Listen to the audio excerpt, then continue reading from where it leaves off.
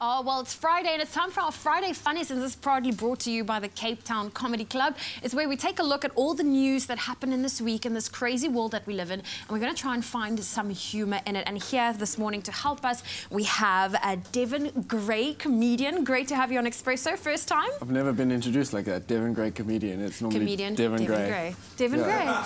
I'm going to tell them to do that at the comedy club. Like, next up on stage, Devin Gray, comedian. Like, We'll do that. Well, listen, talking about job titles, I see Barack Obama got a new one. it, I don't even know what it is, but it's much better than what he had. Have you What seen? can be better than being president He's of the now, United like- States of America? He's the, the biggest boss in the whole world, Barack Obama. Have you seen? He's been going around wearing leather jackets. He's skiing, water skiing with uh, uh, Richard Branson.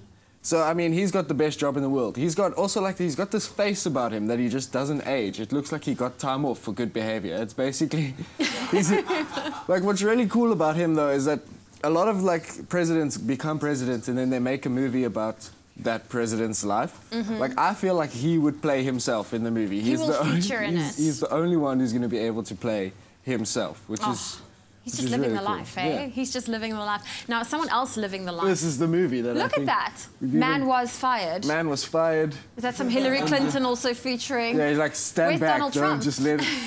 That's the fire in the Oh, background. That's, okay.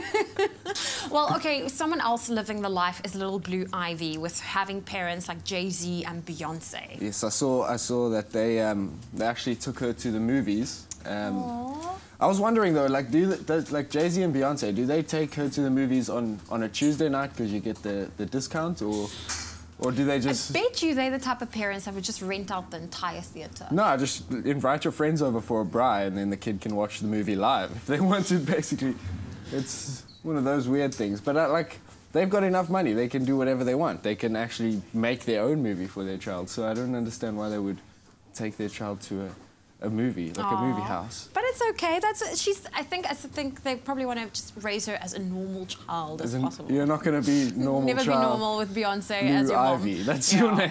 It's and not going to let's happen. talk something a little bit more local. New Bafana Bafana coach. Yeah. So um, apparently they're looking for a new coach. They haven't found one yet. I'm, I'm Mm-hmm. Did you apply? I'm, I'm not going to apply, no, I don't.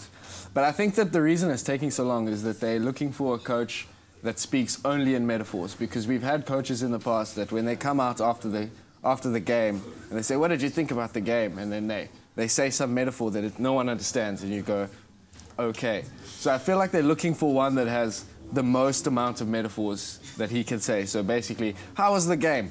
You came, you ran like chicken, you go home. Like that's like there's no one out there that you can find. So I think that they're struggling a bit, but Oh, a crazy Hopefully- job hopefully they application. find a good one, yeah, it's gonna be- Well, talking about crazy things, let's talk about crazy onesies. Is that Crazy something you have in your cupboard? I have a onesie. Um, I've been I've been photographed in onesies before. Maybe not that crazy.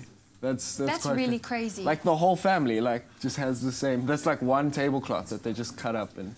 I'm not a fan of onesies. Not a because fan you of have to onesies? take everything off to go to the bathroom. Like, You- it's just... No, you can get onesies with s- like holes cut out in certain places that allow things to be easier for you. I'm not- I'm Cool. sure. And then we have had uh, Pigcasso on the show. He Yeah, is the you- painting pig. You had him on. When did We've you had him on You've had him Expresso. on? It was last year. He sold a painting for twenty-four thousand rand. Wow. Yeah, What? that's he sold a painting. Well, not him. He didn't like make his Facebook post and saying I'm selling like, like a Shopify account. He doesn't have that, but like he made a painting that sold for twenty-four thousand rand, which is quite. It's quite That's a intense. hefty price tag. Yeah, I can't even sell anything for twenty-four thousand rand. Like my house. Who do you house. think the money's going to?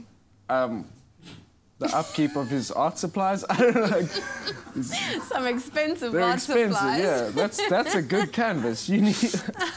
Well, hopefully it's worth the 24,000 rand. Devin Gray, thank you so much for Thank joining you. us. Thank you for having me. Devin Gray, the comedian, on your Feel Good Breakfast show. And if you're up for a laugh this weekend, be sure to head on over to the Cape Town Comedy Club at the V&A Waterfront, where you can catch many more haha moments.